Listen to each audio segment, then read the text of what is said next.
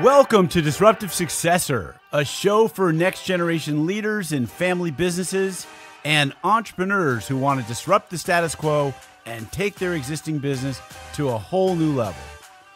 We all know that what got us here isn't going to get us there. This show will provide inspiration, advice, and resources to help you create massive impact. This podcast is sponsored by myself, Jonathan Goldhill, and my company, the Goldhill Group, where we provide coaching for growing companies. I'm Jonathan Goldhill, and my purpose is simple to guide entrepreneurial leaders in family businesses towards more freedom and fulfillment. I want entrepreneurs to get clarity around the changes that will make them and their businesses more successful so they can experience the same freedom I've enjoyed in my life. Our proven practices challenge business owners to think differently about their business and how they're running it, and quite literally become game changers in our clients' companies. Learn more at thegoldhillgroup.com website, where you can schedule your free strategy session.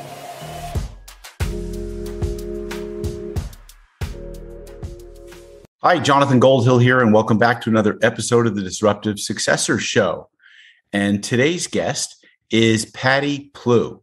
Patty is an ESOP evangelist and a gifted entrepreneur that has established several success, successful businesses throughout her 30 plus year career. She has extensive experience buying, selling, and running businesses. Now, adding to that experience is selling through an ESOP, which has provided her with the insight to help other business owners protect their legacy and sell with integrity. So let's welcome Patty Plew uh, with the Excel Legacy Group. Patty, thanks for joining me today. You're welcome. I'm I'm so happy to be here. So, Patty, first of all, for our listeners, maybe some of them don't even know what an ESOP is. Um, we're talking about employee stock ownership program, correct? That's correct. And it, uh, it actually employee stock ownership plan plan. Okay, so we're going to get into the details of what they are, but let's start with a little bit of background about yourself. Tell us, um, you're a serial entrepreneur. You've had been in family businesses, I think, dating back to 1990. Um, tell us about your origin so people know um, where you're coming from in terms of history. Well, I have a nursing background. So, my uh, first business, and actually the one I transitioned into an ESOP, were medical based. And uh, the one that I just transitioned to an ESOP did employer sponsored healthcare. So my background is actually nursing. And then I discovered uh, the world of entrepreneurship. And, and that was early on in my career in about 1990 or the early 90s. And I also uh, founded a event production company and speakers bureau which my daughter runs to this day. Mm-hmm. And so um, there was a couple medical companies that I had started and then transitioned into the employer-sponsored healthcare company. And then uh, the final transition was the latest uh, healthcare company that had 200 employees at the time of transition to an ESOP. And we almost sold the company to a third party buyer, putting all of our employees at risk of losing their job because it was a, um, a roll up, and the company probably would have shut our offices down and moved our, you know, the corporate office to a different state that they were in. And it was actually during a uh, meeting with the financial advisor my husband and I were meeting with when he picked up on the fact we had been offered, let me back up, we had been offered 30% over fair market value for our company from a, a third party buyer. Mm. Now, how does any business owner turn that down, right? Right. Hard to walk away from that. It's hard to walk away. And that was the one business I had that wasn't a family owned business with uh, uh, succession planning, you know, with generational succession planning. And so we were all on board, but all very concerned about our employees. So we're trying to put contracts in place for at least two years so they'd be protected. They helped us grow that business after all.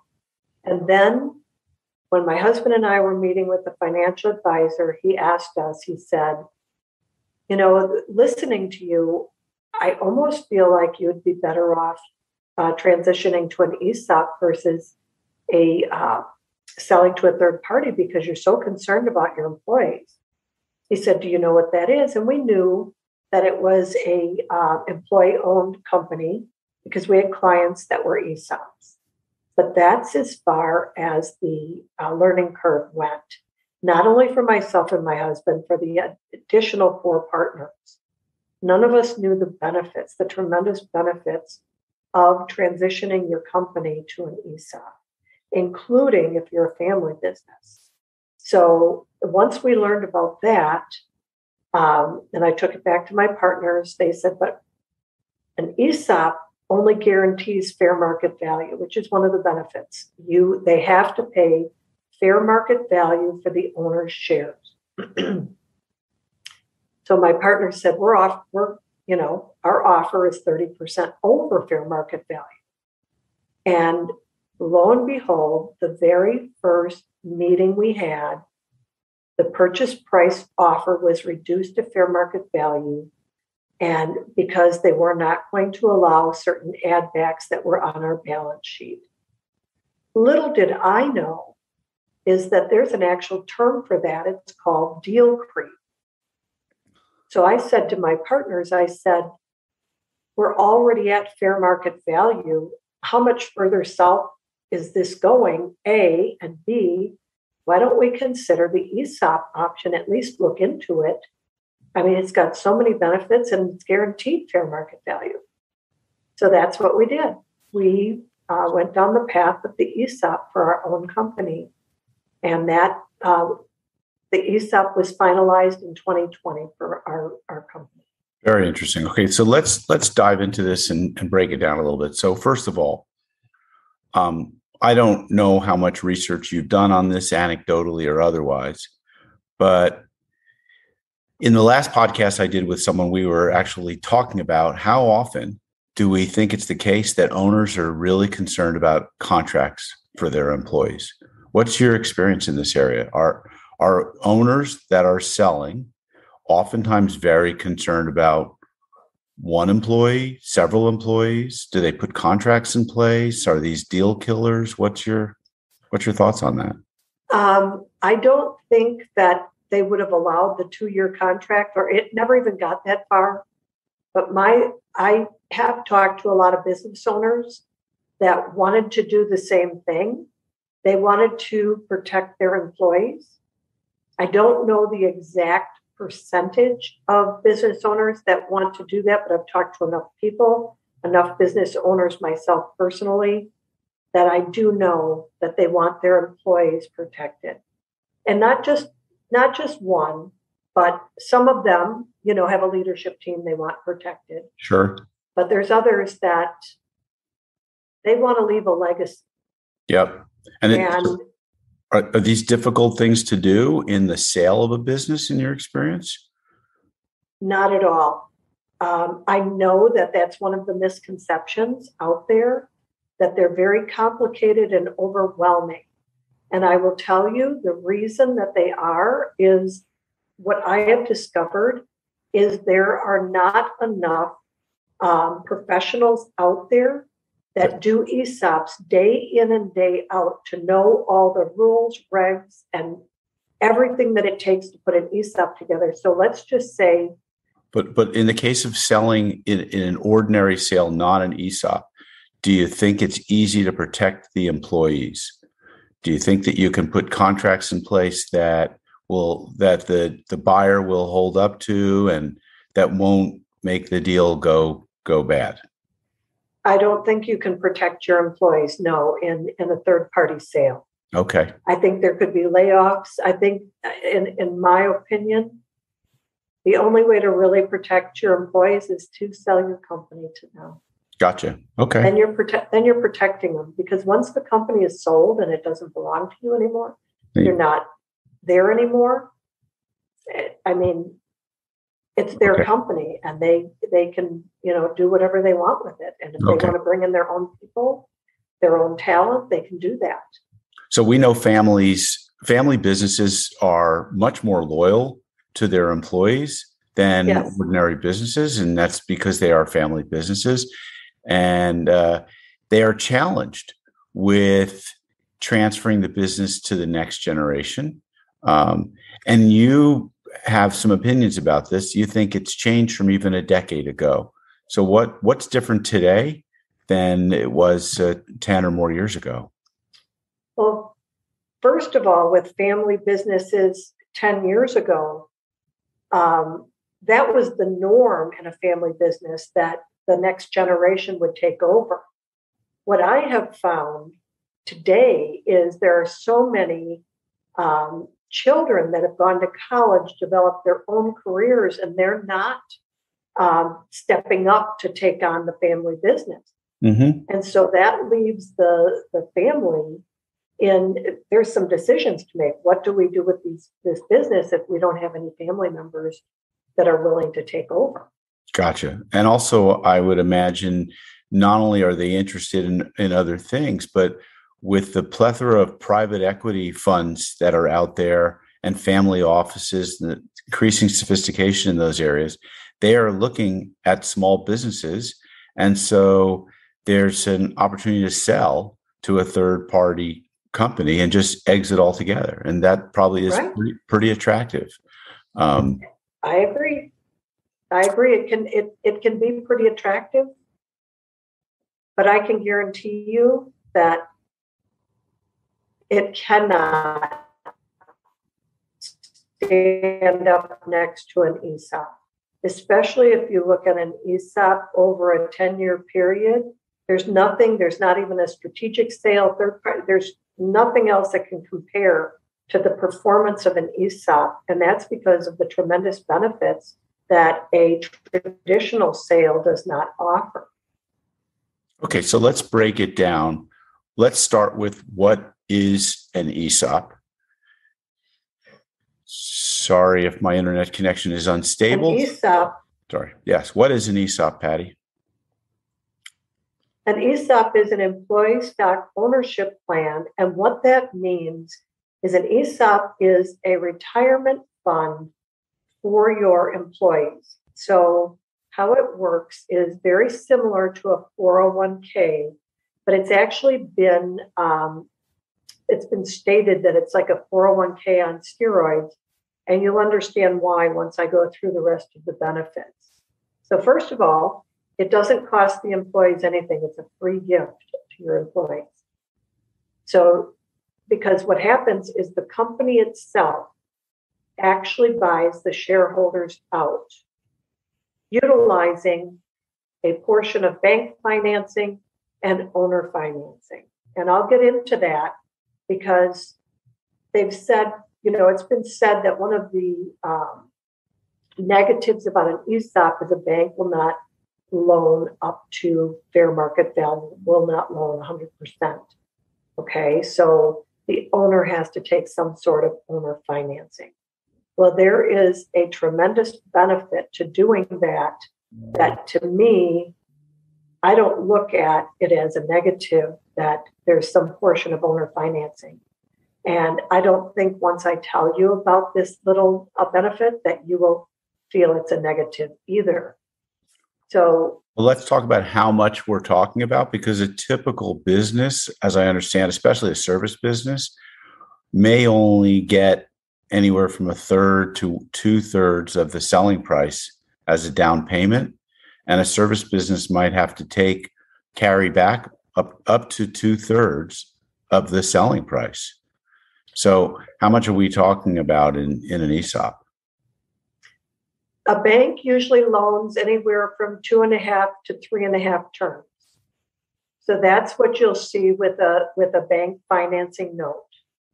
But on the other hand, so with an ESOP, which is not typical with a third party sale, okay, you're guaranteed fair market value for your shares. Okay. So your company is valuated and and then we go over a feasibility report with you that shows you what the valuation is, and over a 10 year period, how your company will perform as an ESOP.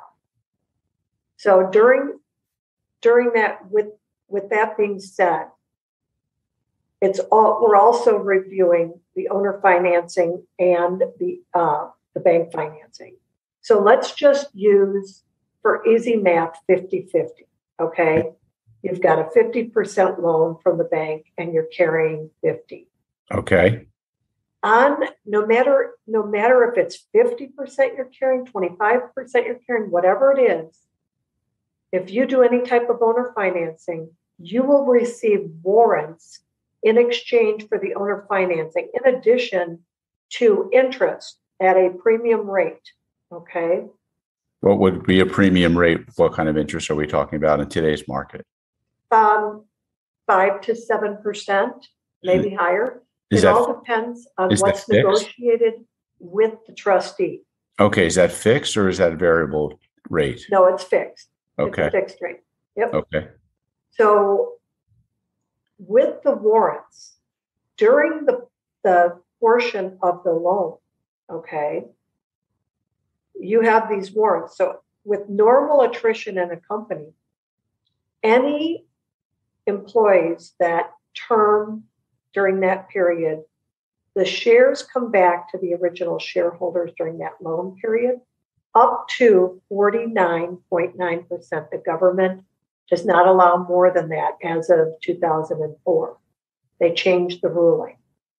What we see on average is about 30 to 40% of the shares come back to the original shareholder.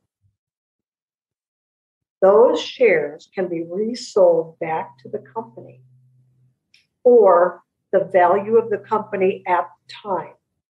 And there's two buckets. It's called the second bite of the apple.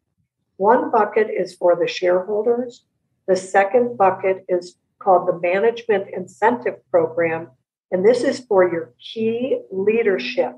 Okay, so if you have leaders or in the family business situation, if you have family members, those family members can be part of the Management Incentive Program. And I'm going to give you an example of a company that's local uh, to me here in Wisconsin. They were sold as a through an ESOP for $25 million. Okay. They purchased four other portfolio companies during that second bite of the apple period. And now they were now they're worth $100 million. Okay. So when they went so the owners there were there was 30% in the bucket total. The owners took 20% of that and they put 10% in the management bucket the management incentive program which had five uh, leaders in that bucket. Let's just say five family members okay? Okay. So it's worth 100 million. The owner already received 25 million. They're now going to get a check for an additional $20 million. It's called selling your company twice. And that's the benefit from doing for doing any type of owner financing. Now let's move over to your leadership or your family members. There's five of them. And there's 10 million in that bucket because there was 30 million total. Each family member, in addition, to working for the company, still making an income from the company, is going to be handed a check for $2 million. Now, that original shareholder family member may take that additional 20 in their bucket and may put it all in the family bucket. They may feel like the original 25 million that they received was ample payment. They may put that entire 30 million into that bucket that means those five family members would have gotten six million dollars apiece. Hmm. And that's okay. that's two to five years after the ESOP is formed. So that's the second bite of the apple benefit. Now, let me tell you how the company can grow exponentially to afford buying four other portfolio companies. Okay. So when you form an ESOP, you become a tax free entity. You no longer pay corporate taxes. Hmm. So yet today, you're paying 33 to 40% corporate taxes. Tomorrow, all that money goes to the bottom line on your balance sheet Hmm. and can be used to exponentially grow your company, to attract talent, to and you know to expand in your marketplace.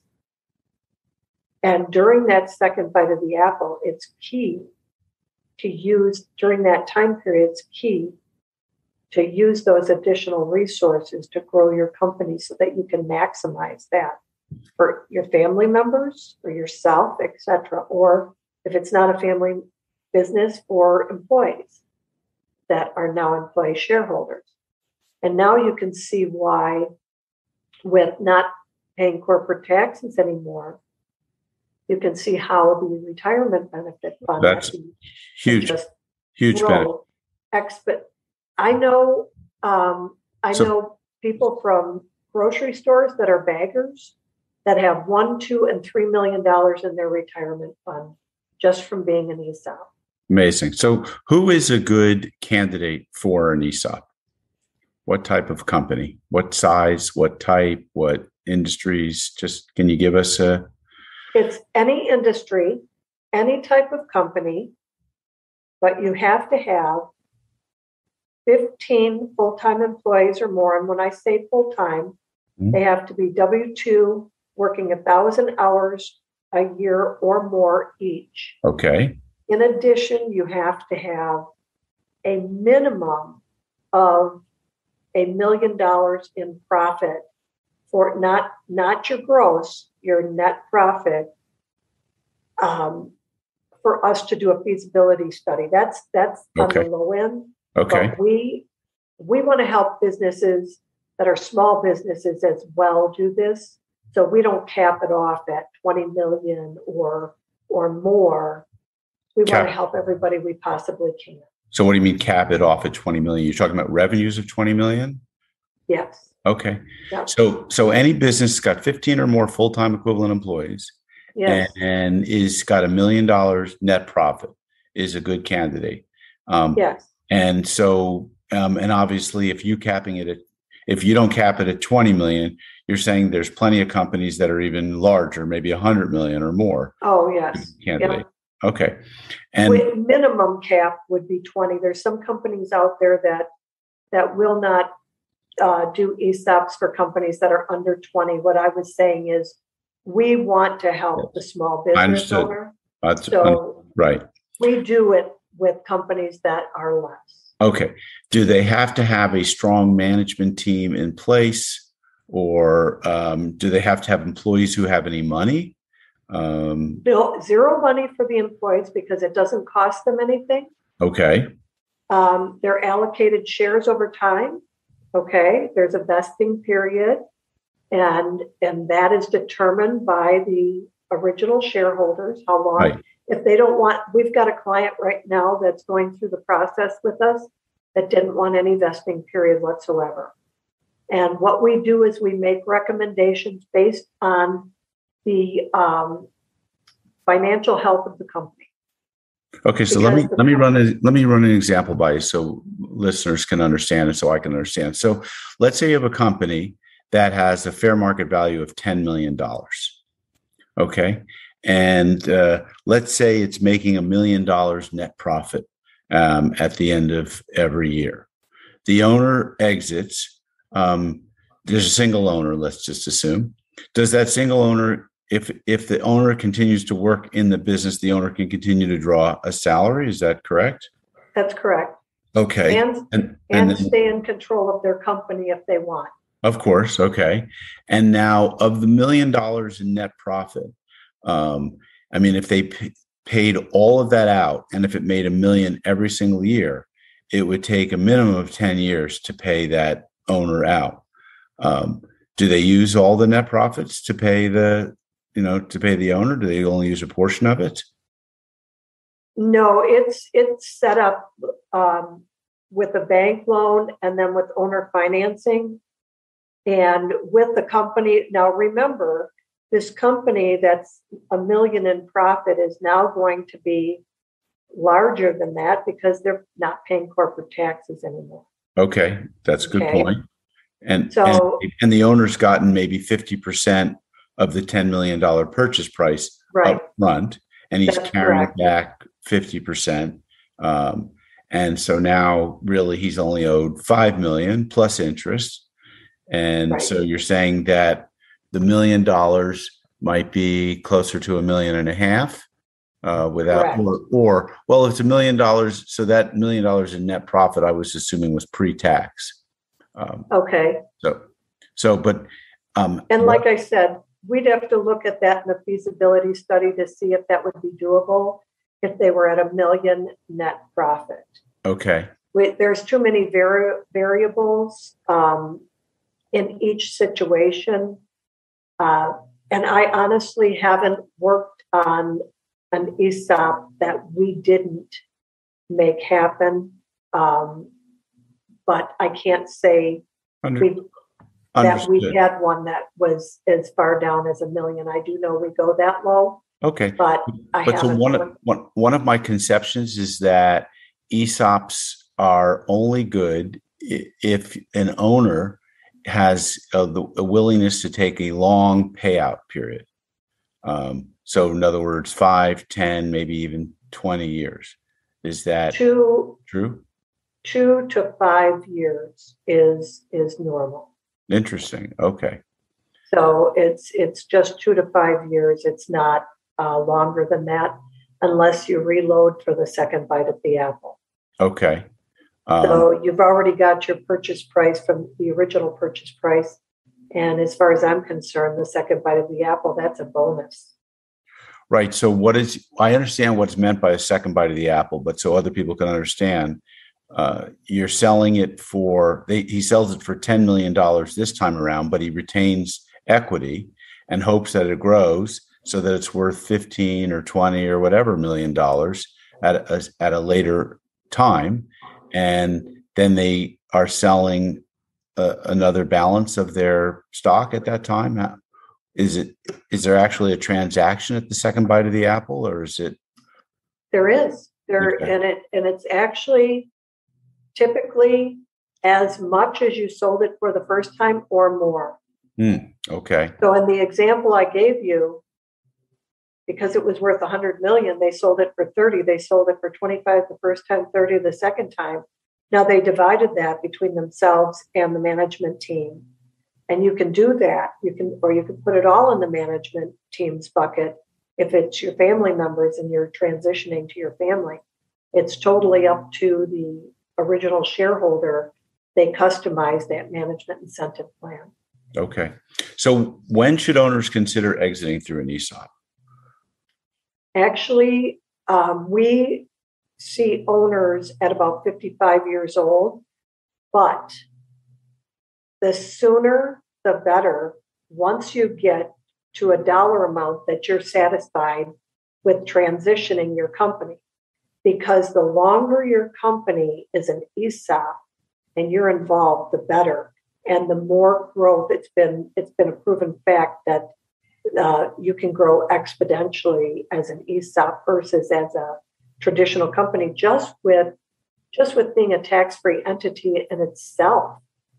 But in addition to that, okay, um, another benefit that I didn't mention is that the business owner can elect a 1042 exchange. And so they can defer their capital gains indefinitely through that 1042 exchange. And then, right now, currently, when the heirs take it out after their passing, they um, have a step up in basis so they don't have to pay the capital gains either. Interesting. Wow, that's a nuance. So I was involved with an ESOP. It was a $8 million a year um, automotive aftermarket accessory company. I don't know what their net profits were, um, but I think one of the disadvantages it seemed was that the owner had had set up the ESOP um, probably at age 70, maybe it was at age 65. And here he was at age 80, still working in the business, still making decisions, still running uh, the day to day. When uh, the person who I was coaching wanted to be basically in that leadership role, making those decisions. So it was an interesting situation. And is that common for an owner selling to stick around and stay involved for so many years like that? They can. If they if they want to, the owner can stay on and stay in control of their company. But I can tell you that there's six partners at the company that I had, and four of us are on the board. None of us are working in the business anymore. Mm-hmm. We're just overseeing because we did some portion of owner financing plus the second bite of the apple. So we want to see that through. We have, you know, a financial investment there. So we are on the board. Um, but that's a much lesser role. And I do advise that uh, for a business owner because yes. you still have voting rights then. Sure, sure. So you have, you know, uh, fiduciary control mm-hmm. of the company without being in the weeds in the day to day. Makes sense. All right. So actually, you you alluded to. So I want to ask, how do you put an ESOP in place? You alluded to the first stage step is a feasibility study. Tell us a little That's bit right. more about that, and then um, what's next after you've decided it's feasible. So first is the feasibility study and the high level valuation that is not an official valuation because if you choose not to do the ESOP, we do not want to hurt your valuation by having um, this valuation on the books. If it's lower than, which typically it isn't, but if it's lower than what somebody offered you, like in our situation, we had 30% over fair market value, you don't want a valuation out there to hurt you, right? Right. So we don't do anything um, on paper, but then we put a feasibility study together that shows you exactly how your company is going to function as an ESOP and now a tax free entity over the next 10 years. That's part of phase one. Phase two is the debt raise. That's when we go out to the banks and we actually raise the finances according to the uh, valuation study that we did. Okay. Okay. After that, we get the trustee involved. The trustee represents the employees, and we represent the shareholders. The trustee brings in their own valuation company that does a much deeper dive, and this is an official valuation. I can tell you that the original valuation we had done that was high level on our company came back less than what the trustee, after doing a deeper dive, he felt, and he was working on behalf of the employees. Right. He felt that the company was worth more than the original valuation. So that was very, very pleasing to all the owners, if you can imagine. Mm-hmm. And because we were pleased with the first valuation. The second valuation um, when when he came back with that, like I said, we were very pleased with that. Um, and then after that, that's we go move into the closing phase, which is phase three, and all the uh, documentation is done. The legal team puts the entire ESOP together. The company, literally, other than providing uh, a data room so that the trustee can review all the financials, etc. It's almost seamless for the company because it's a. Uh, Interesting. Now, is this is a new entity formed by the legal team? I mean, is this has yes. this moved from a C or an S corp or even a sole yes. proprietorship to some new type of? What is that entity? So best case scenario so if you're an llc whatever whatever um, corporate structure you are mm-hmm. if you want to take advantage of the 1042 exchange you need to be a c corp right now with the current tax laws okay, okay? so let's talk about what a 1042 make, exchange is is that there uh, so that's one option you don't have to do a 1042 exchange if you want to do it you don't have to if you want to pay if you want to pay capital gains tax, you don't have to do that. I see. But so If you do that, our legal team changes that corporate structure for you. Okay. You okay, don't even have to be involved in that. You don't have to do any heavy lifting. We do it all. And then uh, once that is in place, then we switch you over to an S corp because it's the S corp where you become a tax-free entity. And the reason why is because an S corp there's a flow through, and when you flow through to a company that's an ESOP, an ESOP is a tax exempt entity. That's how the corporation becomes tax free. wait, you said So- you said you set up a. I think you lost me on that. You set up a C corp, and then you transition it to an S corp. So let's correct. assume it's an S corp to begin with. You're transitioning it to a C corp, And then back. and and that's so that they can have different classes of stock, as I imagine. That's correct. And So they can take advantage of the 1042 exchange and then take advantage of the tax exempt entity. and then the IRS allows you to change it back yet again to Yes, they do. an S corp. Yes, they do. Interesting. And this doesn't, this can all be done in a year or less, or is this a multi-year type of an activity? 45 to 60 days. That's amazing because it, common wisdom tells us that you can't change and elect to change your corporation status um, more than, you know, like it, well, you can't change it that often. I know. I don't know how often it is. You you can. Um, our legal team knows the ins and outs of how that can be done Interesting. and how to work through that process. And uh, they do it day in and day out. Okay. All right. So now you've got the, you've done all this work, you've set up so that you're eligible for the capital gains tax benefit, which is a huge benefit. And I thought that was one of the main reasons um, to set up an ESOP.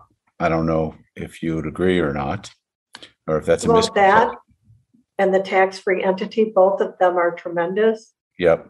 Plus the second bite of the apple, the uh, retirement benefit windfall for your staff, the management incentive program. Mhm. Um, if you have multiple shareholders, you can customize uh, the ESOP transaction per shareholder. Mhm. So it's very flexible that way. It's not a one size fit all fits all. Right. If I wanted to sell 100% of my stock to the ESOP and my partner only wanted to sell 30, we could do that.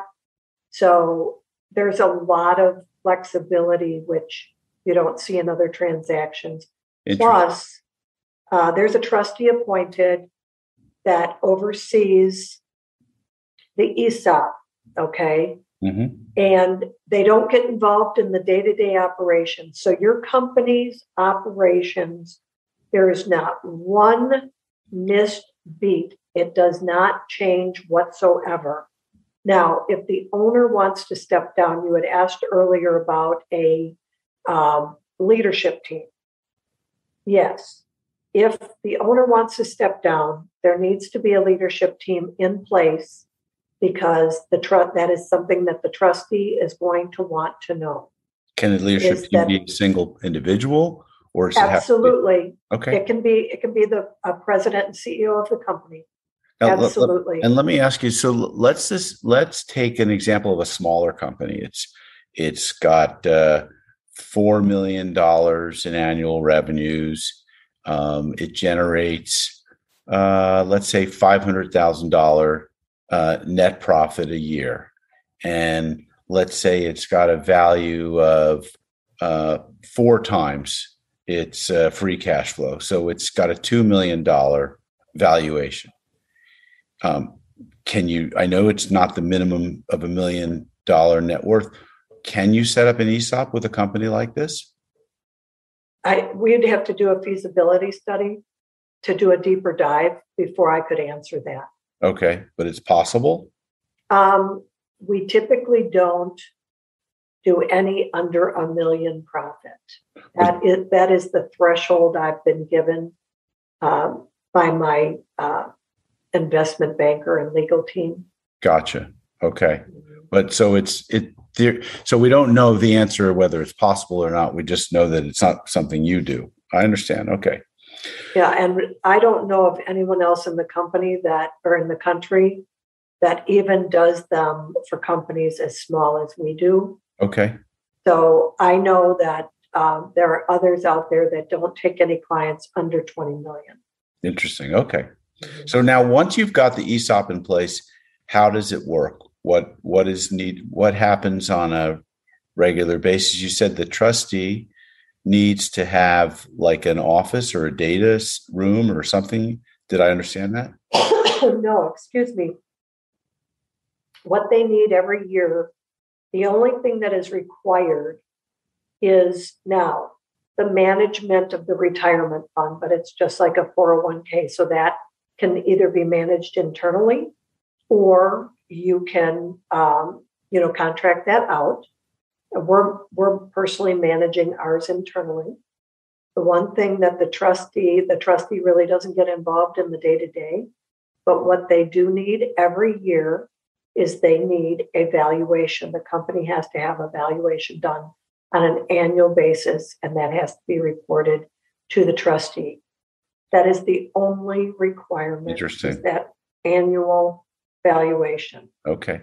So now what happens? It, so do they typically use the same eval? Um, and I assume it's got to be a certified appraiser who's the valuation firm? The or? valuation company, yes, it has to be a third party okay. certified. Yep. Okay. But interestingly enough, if um, after you go through the transaction and we've appointed a trustee, you have every legal right to change that trustee to yourself. Okay. Wow. So I'm the owner so, and seller of the business. Yep. I can make I can become the trustee and uh, I, and, and I use a third party uh, evaluation or valuation firm to uh, to come up with the value. Now, what happens if the business is in a declining state? Maybe it's in a declining industry, and uh, yeah. Um, so, in a business that's in a declining state or a declining industry, um, is this a difficult situation or impossible situation to be able to sell the business and you know to or to carry on with the ESOP? Well, it's very interesting that you should ask that because when we were doing our ESOP, there was a little thing called COVID. Yes. And our ESOP actually got put on pause because it was supposed to close on April 1st, 2020. And I think everybody remembers what was going on then we were shut down pretty much as a com- as a country, and no one really knew what to expect. Right. So the trustee put the transaction on pause until we, as a company, could prove that we were going to survive this pandemic. Right. And and we had to prove that through financials uh, for April and May and then on June 5th, he allowed us to close our transaction. Well, that, that's not surprising that you went through that. I mean, I had difficulty selling real estate during the, that same period of time, but I'm concerned about someone who's already been in an ESOP and they're maybe been in it uh, for a year or two, or maybe they're a machine shop and they have declining interest in their business the industry is in a downturn. Um, how does the yeah? How does the it's no, it's no different than any other company in a downturn economy, with the exception. It's a proven fact. There's statistics out there that any downturn economic times, including COVID, ESOPs have fared better, better.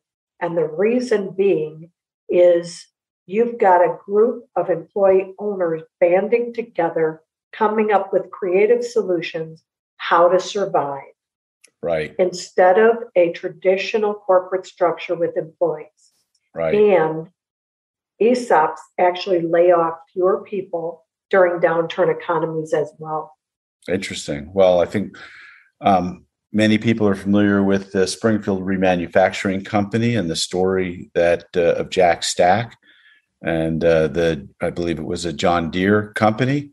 Um, um, So, yeah, very interesting story there. Became the great game of business. And we know that employees who stay close together really, mm-hmm. um, uh, they'll come up with more creative solutions for how to save a business.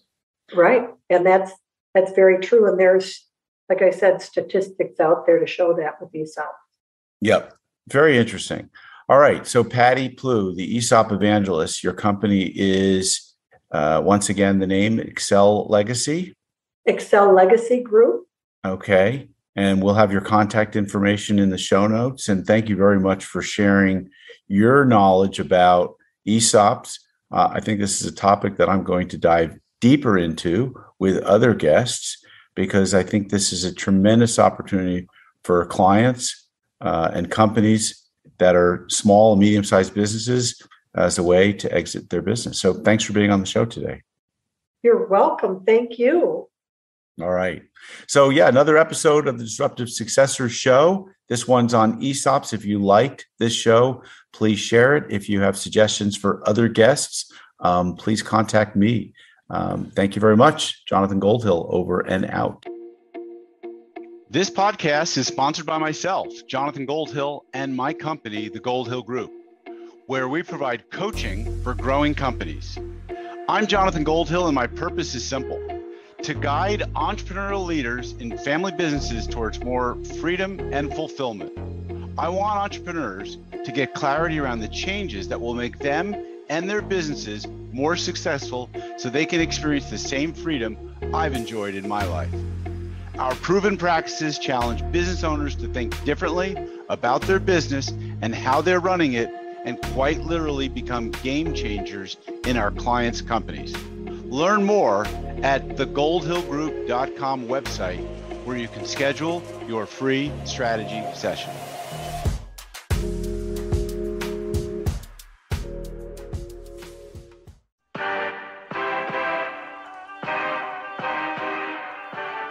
Thank you for joining us on the Disruptive Successor podcast. If you enjoyed today's episode, please subscribe, review, and share with a friend who would benefit from the message. If you're interested in picking up a copy of my book, Disruptive Successor, go to disruptivesuccessor.com.